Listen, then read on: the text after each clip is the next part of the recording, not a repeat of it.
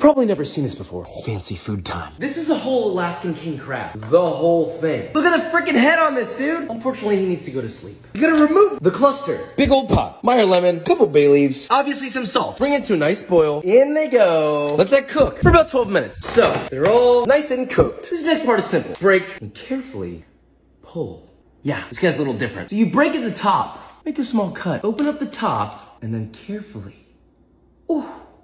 Ooh. I know you like it. Repeat with the rest. Serve with butter, put it in a pasta, the list goes on and on. Side note, with the shells you can make butter or even stock. Shout out to Regalis Foods for the crab.